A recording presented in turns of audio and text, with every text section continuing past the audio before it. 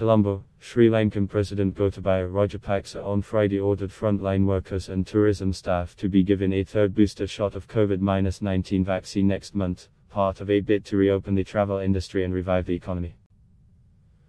More than 1 million people, including security personnel, healthcare staff, and tourism industry workers, will be given third shots of the Pfizer vaccine beginning November 1, the President's office said in a statement.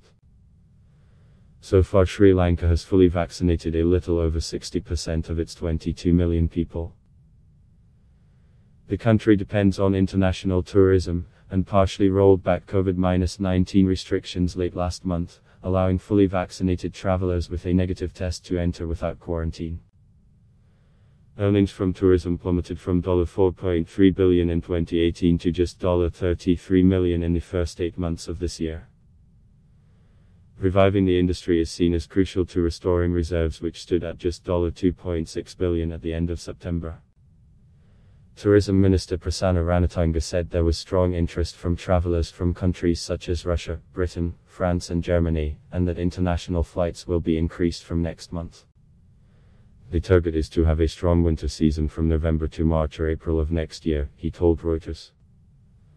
An estimated people are employed in the tourism industry. Some travel limits, including on trains between provinces, will be lifted only from November 1 as the authorities focus on reducing the death rate from COVID 19 to zero. I Adblock test Y.